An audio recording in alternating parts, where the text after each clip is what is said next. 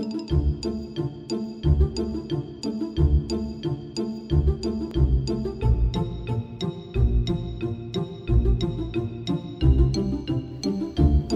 there, it's me, Annalisa Boyd, Orthodox Christian wife, mom to 10, bread baker, candy maker, self-proclaimed doula, accidental midwife, and the author of The Ascetic Lives of Mothers Hear Me, Special Agents of Christ, and creator of saintsbox.com.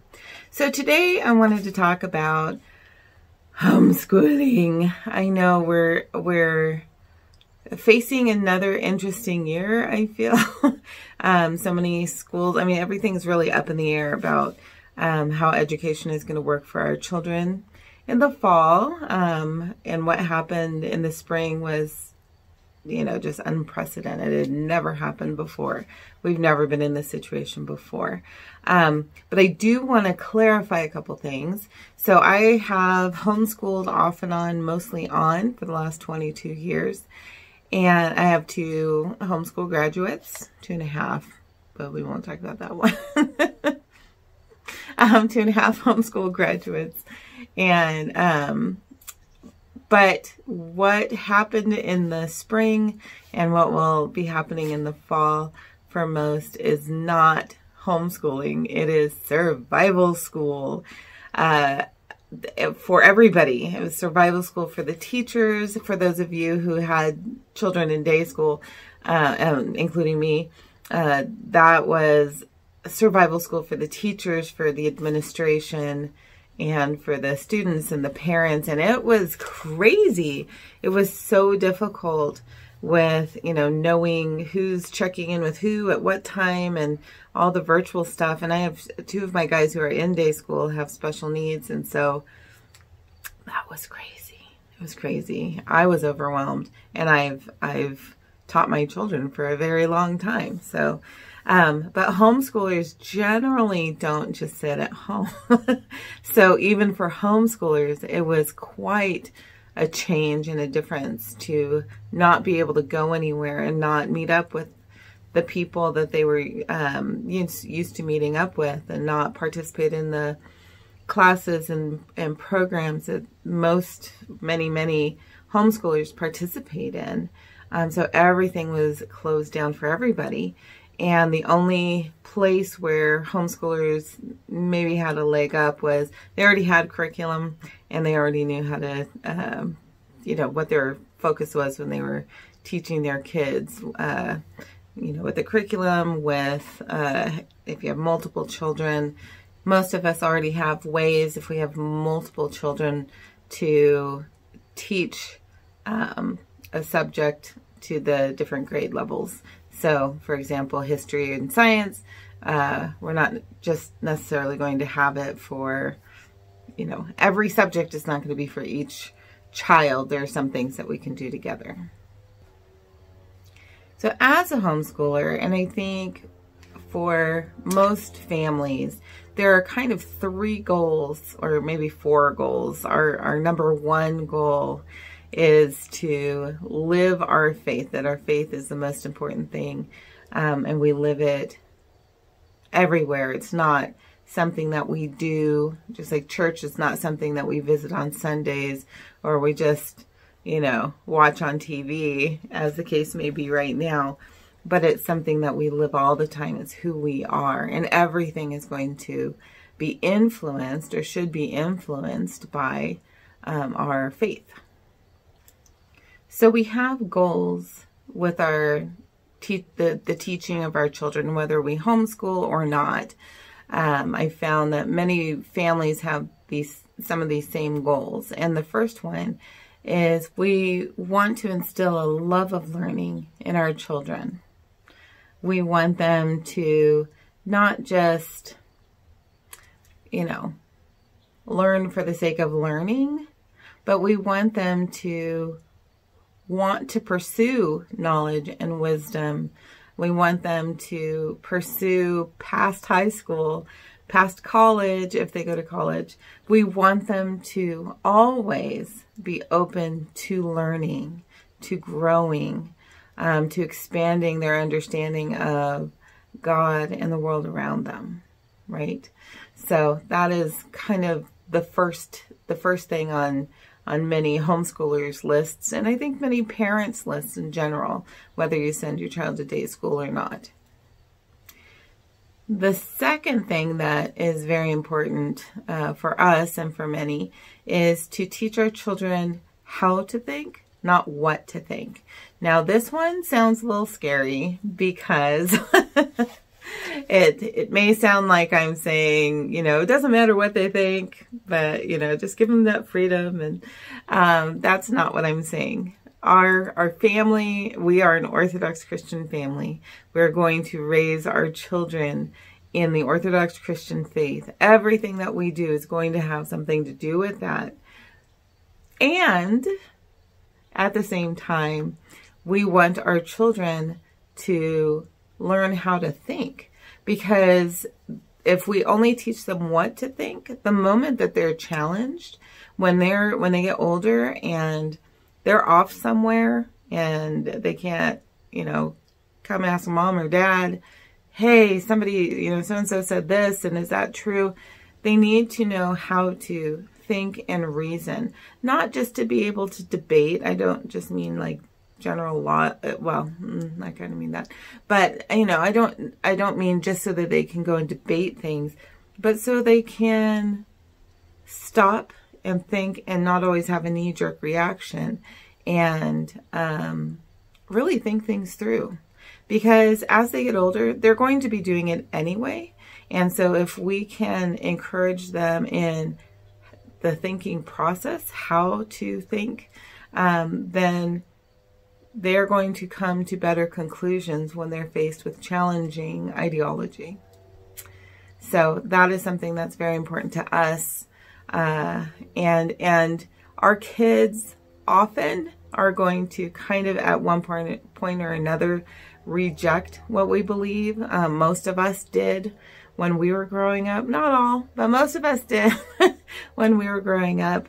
But the ability to think for ourselves and not just be told um, what to think. Because I grew up in a tradition where a lot of it was, this is what you think. And this, you know, it was, it was witnessing 101 and faith 101. You know, there are all these little workshops and stuff that they did to try to teach you how to think so that if you went and, you know, went door to door telling people about Jesus, it was almost scripted. And life is not scripted. So if we raise our children that way, they're totally caught off guard and destroyed when when life is different than they expected or when bad things happen or when maybe they're mistreated at church by people who are supposed to be the most loving and kind. We want them to know how to think and how to navigate their brains and to um, essentially filter everything through Christ is the ultimate goal. But we're teaching them how to think. Um, and, you know, even with adult children now, not all of them are in agreement with things, but I see the process going. They're not just settling even on their own ideas. They're not just settling they're trying to weed through because we try to teach them how to think, not what to think. Then we also want our children to have a functional knowledge of the whatever they're learning. So I had a friend in high school who was a straight A student. She was the captain of the cheerleading squad. She was just almost perfect in so many ways. Um, but what I noticed was she uh, she did very well on tests. I did horribly on tests. I still have a problem with my brain like emptying if I think something could possibly be a test. Um, but she aced every test that she took because she could cram a whole bunch of information in there take the test, and then she would pretty much immediately, it was like she pressed a button and there was a flush. And if you asked her um, about the information she was supposed to know or how to apply it, she had no idea. None. She did not have a functional knowledge of what she was supposed to have learned. And so we really want to encourage that. It's not about the tests. Tests can only measure certain things.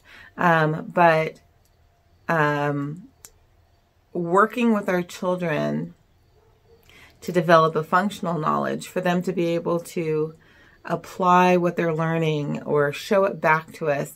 And I don't mean in like a book report kind of way, and I'll talk about that in a minute, um, but in a, you know,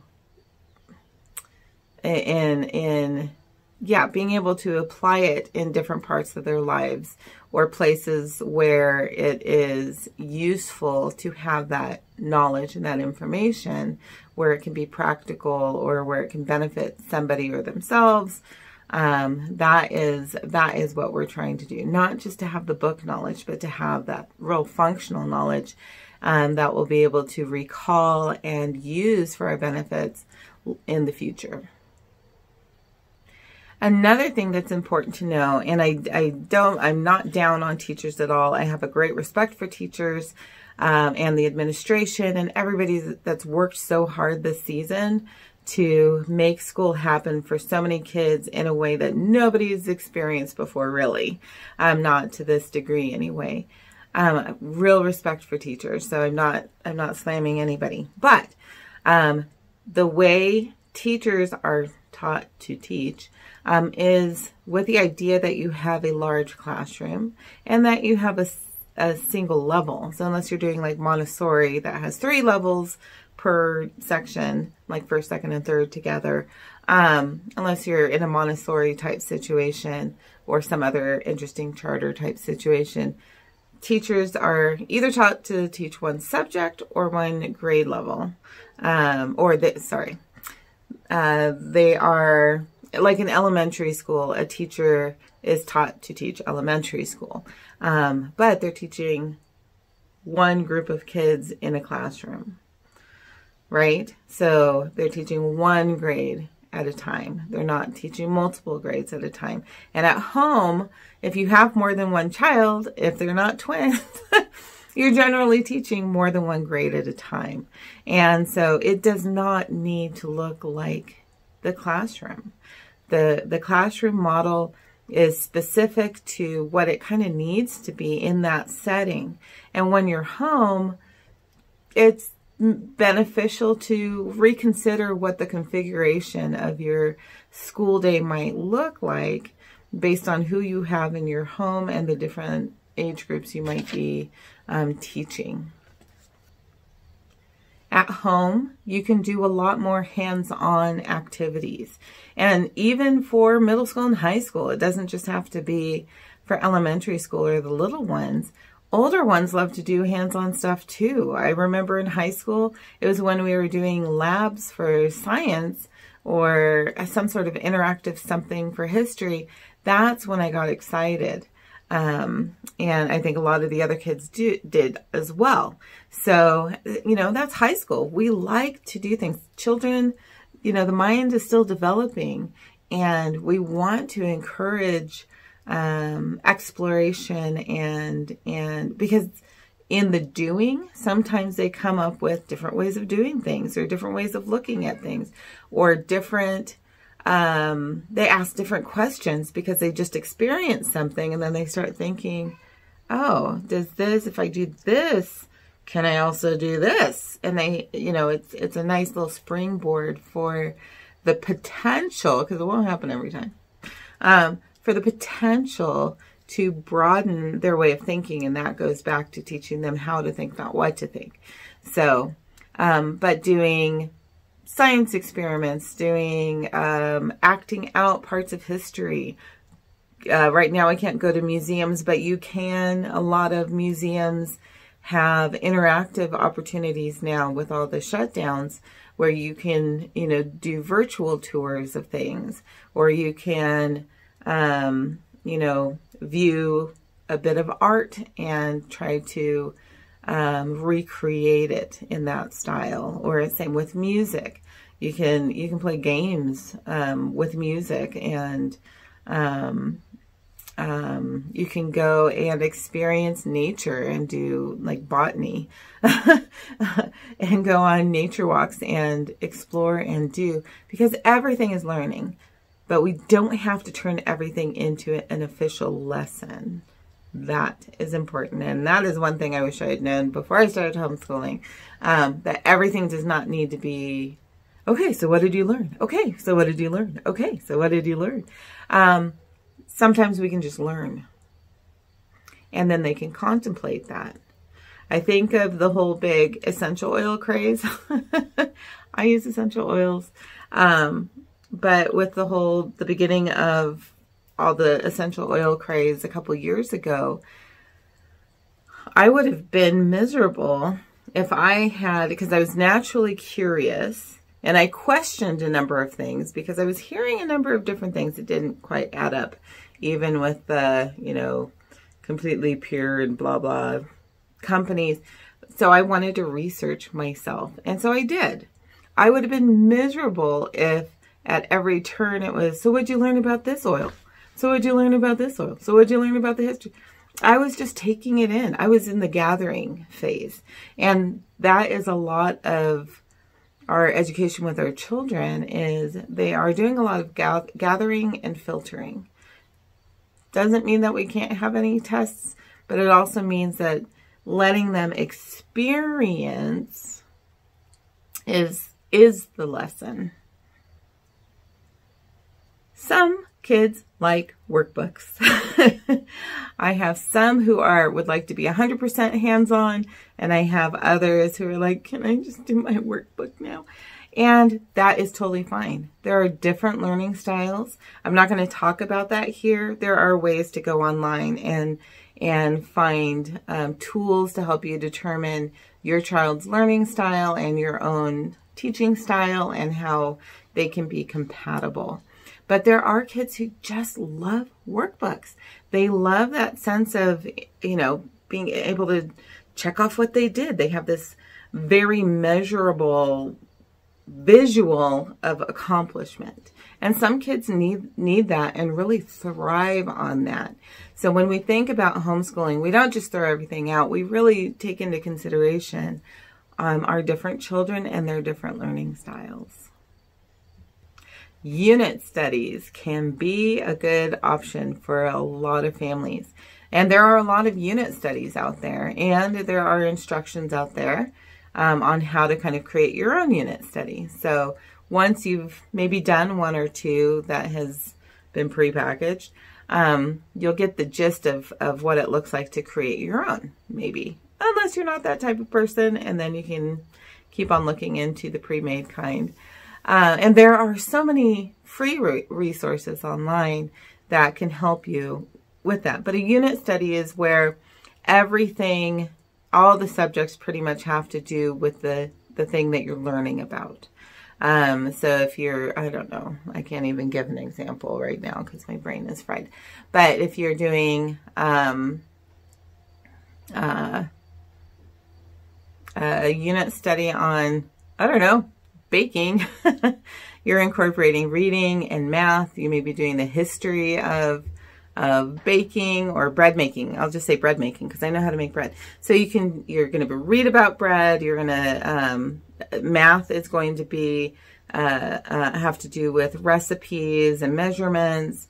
Um, science is going to have to do with like mixtures and how those work together, how you put these ingredients together. You have a mixture and how that creates the bread. Um, did I say the history? You can do the history of the bread. So there's all all sorts of pieces of of subjects um, in school that you can put together around one main topic, and that's what a unit study is. Reading aloud. There is a great um, book and I think podcast and everything called Read Aloud Revival, and it's fantastic. And again, it's not just reading aloud to little people. Uh, big people can absolutely benefit from reading aloud. We do a lot of driving, and so we have Audible, and so that makes it helpful for us to have a way to read aloud while we're on the go. Um, I enjoy reading aloud, but if you don't enjoy reading aloud, again, something like Audible can be helpful. Uh, libraries have a lot of books on tape. If you have a struggling reader, you you can um, get a book and the audio to go along with it so they can read along. I mean, there's so many things that you can do with read alouds. But one of the things that's good is your children, your child can generally understand um, uh, uh, the spoken language better at a higher level than what they can read. So a third grader may not be able to read Lord of the Rings. Like if they were to sit down and there's they're still sounding some things out and they're, you know, kind of stop and go with the reading and that makes it frustrating if you were reading that if they were trying to read that level. But hearing it, they develop their vocabulary because they're hearing words, new words in context. They're getting pronunciation and they are, their brains are really working um, in a positive way to make sense of what they're hearing. That's why you can see people who come from other countries who seem to be able to pick up English so easily.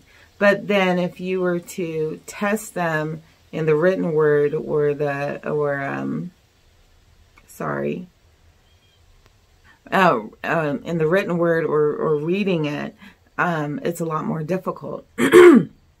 but conversationally, um, it is easier um, to understand and for them to speak. So same kind of concept with reading aloud. And there are so many books out there um, that are just really enjoyable. They don't have to be, um, they don't have to be quote unquote educational because the idea is we're always learning, right? So fiction is a wonderful way to go. Um, historical fiction is a wonderful way to go for history or to learn about a subject and explore it further. And one thing to avoid with the read alouds um, and many, uh, much reading, so even if there are um, assigned reading books, uh, I would highly recommend avoiding book reports and uh, making the dioramas and all these things around um, books because we want our children to enjoy reading. and there are ways to totally kill that love and desire and that interest in reading when we make it an assignment. And we don't have to make it an assignment in order to still be able to measure their understanding. A lot of that can come in the form of discussion. Just like, wow, I wasn't expecting that to happen because the idea is that you're probably all listening to it together. Um, I grew up in a home that did that. My brother was severely dyslexic and saw in triple. And so the librarian would record any book. And I had no idea until I was an adult. I thought it was on the radio. um, but we would come in at a certain time and we would listen and then, you know, go on our way. But though I remember those books, I remember that experience and we could talk about it. Um, you know, we, uh, just discussions. That's how we can measure, um, how our children are learning if they're absorbing it if they're like i don't know i don't know then maybe we go back a chapter and we listen at it in smaller increments or something like that but to be engaged with our children and being like, I did not see that coming, or did you know that they did that at that time period? I had no idea. And yeah, I didn't know that either. And blah, blah, you know, so having that discussion that is still measurable learning. You you can still measure their progress and their comprehension. Homeschooling also gives entrepreneurial opportunities. I love this part. So we live in a time where there does not need to be necessarily the push for our children to go to college. Um, it does not have, oh, it does not always have the same benefit as it used to. It used to really say something to an employer that you had a college degree. And in some areas of, of education and business, it is still important for your child to have a degree. Um, but there are also other, there are also more opportunities out there for entrepreneurialism, for children to learn to create their own work. We're still encouraging drive. We're still encouraging good work ethic. We're still encouraging um, our children taking responsibility. And we're encouraging creativity, which can be an amazing thing. It can be anything from an Etsy store where they figure out how to make and market something that they've created. It could be you have a child. We had kids in the neighborhood when my girls were growing up who loved like garden equipment. They like saved money. They didn't even have a yard, but they saved money and they got like uh, leaf blowers and um, lawn mowers and trailers, and they ended up figuring out ways to earn money around our little community by doing jobs for other people. And that is a reasonable, potentially very profitable business. So it doesn't just have to be, um, you know, a computer tech or, or, you know, I don't know, um, I'm trying to think of all the things that you need a degree for. But there are so many opportunities now. And even if they still choose to go to college, and that is what they need to do or want to do um, to go farther on the path, or it's going to help them determine what they want to do long term, that's perfectly fine. But having an opportunity to create something and try to market it and and um, have a business does a lot for a child and for the family. My girls, um, when they were young, we lived on the corner in this little wonderful redwood community uh, in California. And when they were old enough to bake, I taught them how to make bread. And instead of a lemonade stand, they had a bread stand. And our motto was, buy our bread, we need the dough. I like that one. anyway, um, so they had a bread stand. So every Tuesday, we didn't do any other school. They prepped the kitchen. I made sure it was all clean. Um, they spent hours making this bread. They had French bread and they had whole wheat bread. So, and we had a grinder. So we, they ground the wheat they, you know, put all the ingredients together. They followed the recipe and all that stuff. They did, had to let everything cool because if you bag things too early, it sweats and it's gross. Um, so they had to learn all these things. And then they would lug this, I can't even remember what we used. I don't know if it was a table or if we had a spool or something, but we had something that went out into the road or to the end of our driveway and we had our sign and they were the salespeople and I stayed back at the house. I could still see them, but I stayed back at the house and they developed their their regulars. Now none of them are bread bakers. They are all grown.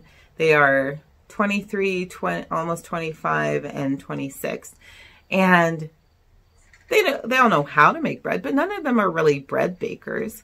But they all remember that experience. And I think that has helped all of them to develop a really good work ethic. They had to learn how to interact with the public.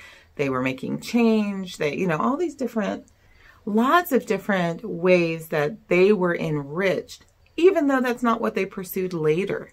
Because it's not necessarily about what they pursue later. It's about the experience and being able to draw from that experience, that, that functional knowledge or functional wisdom. They were able to draw from that experience and put it into the things that they did end up pursuing. And that's kind of the point. And one other thing that is super helpful with homeschooling is you do have multiple grades that can do the same thing. So, um, one of the things that was so difficult for me with with online learning is that each each child was doing their own set of things. And I felt like I was just running back and forth to make sure everybody was still on task. And you're meeting with this teacher and you're supposed to be doing this now and all of that. Was miserable for me. um, but with homeschooling, if you have more than one child, um, they can do their math and their reading independently or math and language arts independently. And then you guys come together for a history day or a science day or an art day or a music day or whatever day that you want to do.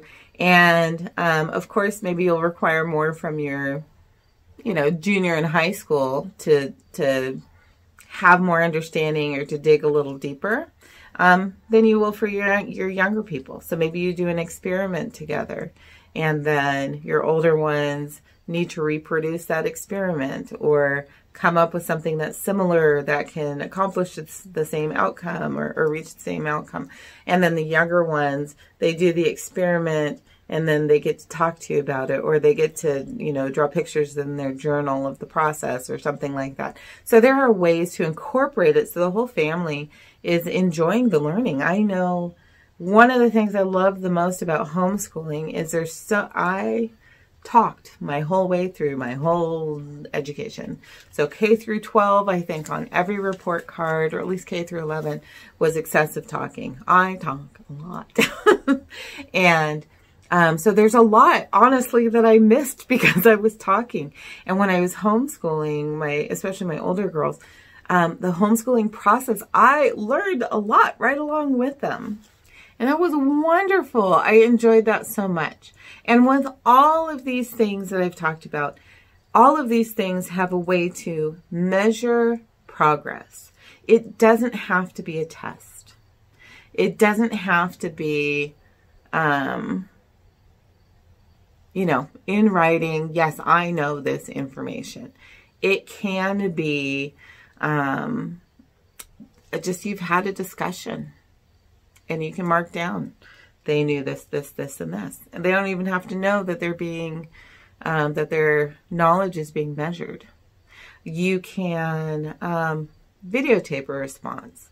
A lot of kids want to do YouTube things um, or have YouTube channels, be podcasters, and you can incorporate that as part of their way of, you know, if you encourage them to teach somebody what they just learned, um, you can document that by video if they're acting something out. My my friend's son um, dressed up and acted out a Bible story and sent it to me, and it was so funny. I think it was David and Goliath.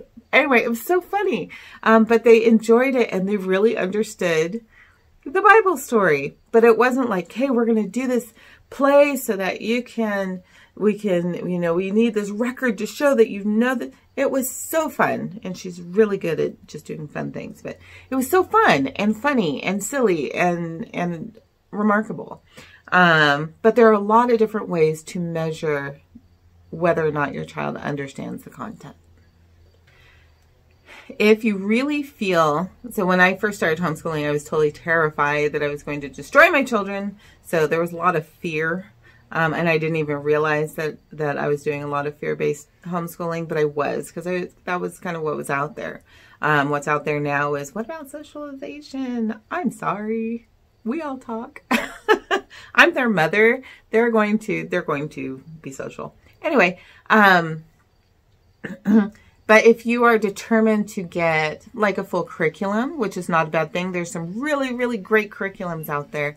So if you're determined to get a full curriculum, the wonderful thing is that the teachers' books have the answers and often have lesson plans.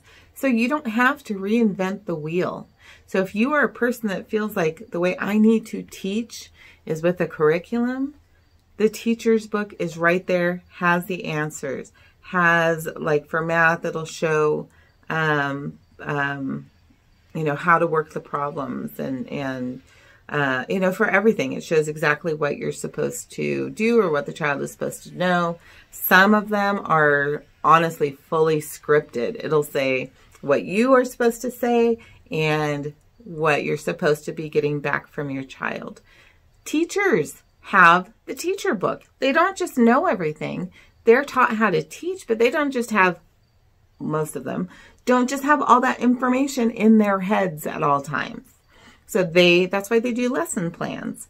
They, they, you know, make a plan of how they're going to present the material, um, and, and they have access to the book in case they forget. so, um, while teachers are superheroes, they also have the book. So that's important to understand when we're looking at the place where we are now of having to educate our children. And finally, you know your child. It is okay for you or important for you to determine what the best way of educating your children child is, or children is going to be.